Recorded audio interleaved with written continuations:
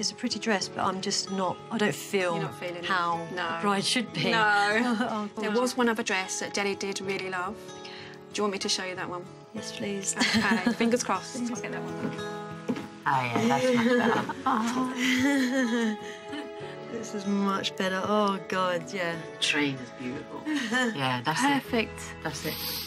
I could see myself walking down the aisle and then Daddy going, "Oh my Yeah. God." Hi, Deli. Um, Tracy doesn't like the dress that you chose.